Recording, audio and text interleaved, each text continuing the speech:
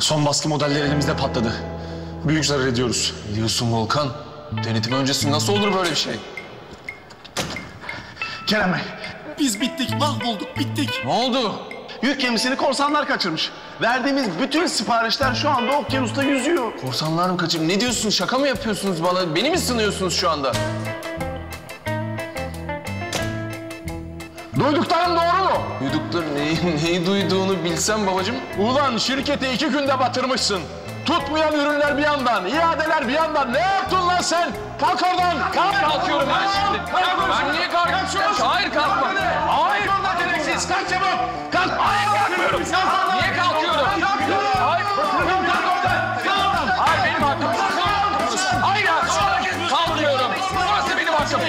Kalkmıyorum. Hayır. Gidin korsanlarla konuşun. Hayır. Kalkmam. Kalkmam. Hayır benim hakkım. Hayır.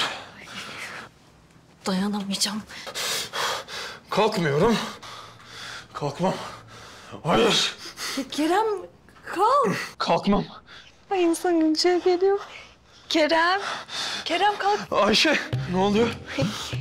Kerem kabus görüyordu. Bir şey mi dedim ben? Kalkmam. Ne gülüyorsun? Kabusmuş işte. Sen niye uyumadın? Beni mi izliyorsun? Ya Kerem sen niye izleyeyim? Kalkmam. Kalkmam deyip duruyordun uykumdan uyandırdın beni ya. Sana da iyilik yaramıyor. Ay sana gel hiçbir şey demeyeceğim tamam. Yarın her şey yoluna girecek. Sadece buna odaklan. Uzun zamandır beklediğin gün geldi.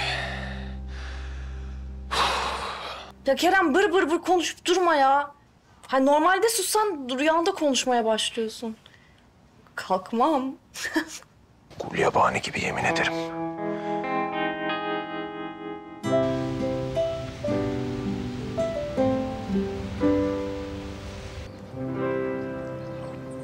Keremcim.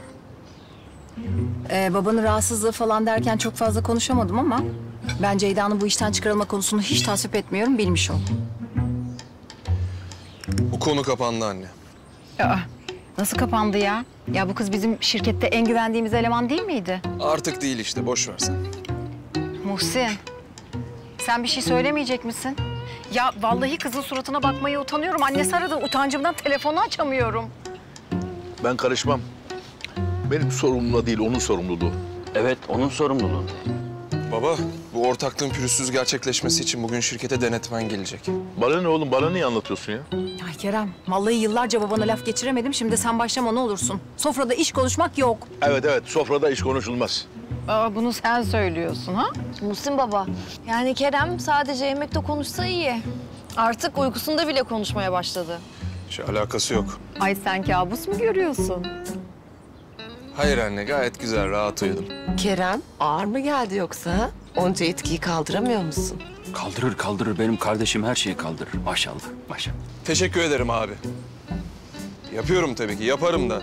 Sadece bu e, benim mükemmelliyetçiliğim yüzünden bu e, şimdi iş temposu biraz fazla geldi. Yapar yapar o her şeyi kaldırır her şeyi. Şey kızım sen şuna bir baksana. Ben hastanedeyken hemşirelere bir site açtırmıştım fotoğraf koymak için ama ben şimdi beceremiyorum onu. Nasıl yapacağız? Bakayım Muhsin babacığım. Şöyle. Şimdi fotoğraflara girip fotoğrafı seçiyoruz. Ama sizin hiç fotoğrafınız yok Muhsin baba. Yani fotoğraf çekmemiz lazım önce. Kızım bırak şimdi sen onu bırak. Gel şöyle güzel bir fotoğraf çek bakalım.